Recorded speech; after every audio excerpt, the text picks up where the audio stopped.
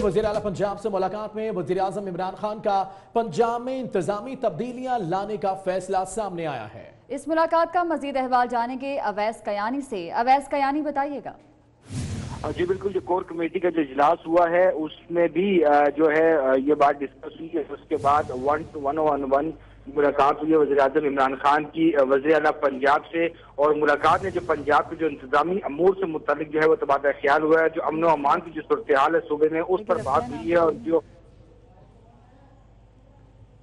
جی۔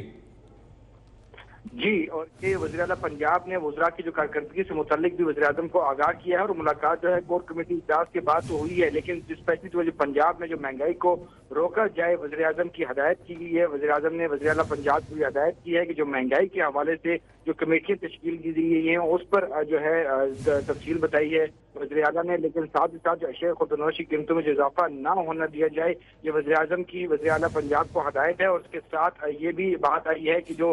جو تبادلے جو ہوں گے اسپیشلی طور پر جو انتظامی امور سے متعلق جو معاملات ہیں، اس کے حوالے سے جو پنجاب کے انتظامی امور سے متعلق جو ہے، وہ خصوصاً تبادلہ خیال ہوا ہے اور بہت سے وزراء کی پرفارمنس بھی ڈسکس ہوئی ہے۔ پنجاب کے جو وزراء ہیں، ان کی کارکردگی پر وزیر اعلیٰ نے وزیر اعظم کو بریف کیا ہے اور آگے جو معاملات ہیں، اس پر جو ہمارے ذرائع بتا رہے ہیں کہ وزیر اعظم نے وزیر اعلیٰ کو اہم ٹاسک بھی سونپا ہے اور امکان یہی ظاہر کیا جا رہا ہے کہ اگلے ایک ہفتے میں جو جو پنجاب کی جو کابینہ ہے اس حوالے سے بھی جو ہے اہم تبدیلیاں جو ہے وہ دیکھنے کو نظر آئیں گی۔ ٹھیک ٹھیک ہے، بہت شکریہ ویس کیانی آپ نے تفصیلاً اپڈیٹ کیا۔